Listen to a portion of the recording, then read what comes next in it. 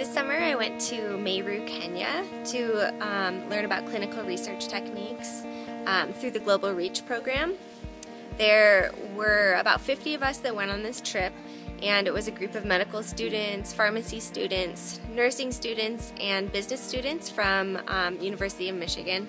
And for the medical students, one of the main purposes of the trip was to learn about clinical research techniques and the main project that we worked on was a community survey. Four or five different students uh, in the medical school uh, created individual projects and research questions that they were um, interested in asking, and um, those individual projects were uh, combined into one community survey that we administered um, using iPads.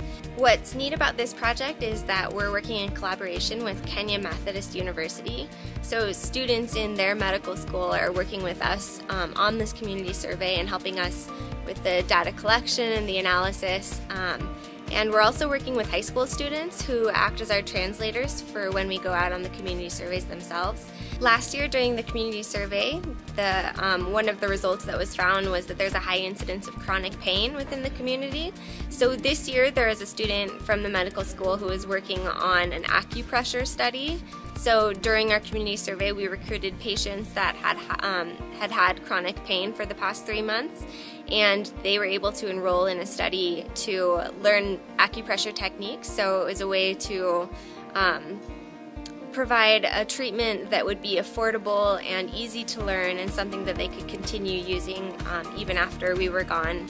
We're staying right now in an orphanage in the Kithoka community and it's a place where about 25 children live um, and it was started by a woman named Dr. Karambu who is from that same community and she began taking in children um, whose parents had died from AIDS and so this home has kids from about four or five years old all the way up till 17 and 18 and they all live together. Since we were staying at the orphanage for such a long period of time, a month, we um, really didn't want to just be guests there. We wanted to contribute something to them as well.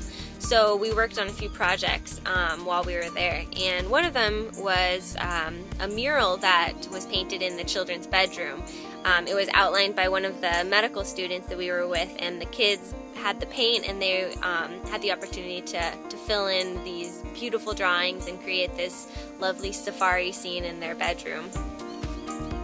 It's been really neat to get a more intimate view of you know people's lives here and to learn about how people live to see families together, to see how they cook and learn more about their lifestyles. And I really feel like there are many things I've learned here that I'm going to take with me as I continue my education in medicine and I think that I've really changed on this trip and it will influence the, the way I practice medicine in the future.